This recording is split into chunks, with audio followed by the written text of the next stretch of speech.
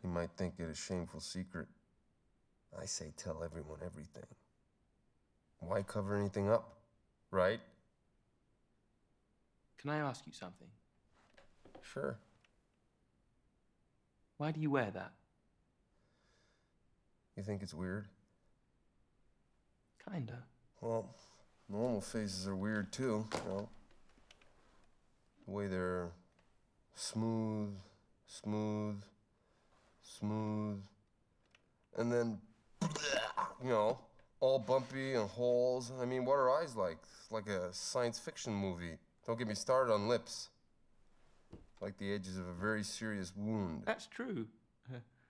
but your head is still sort of intimidating. Well, underneath, I'm giving you a welcoming smile.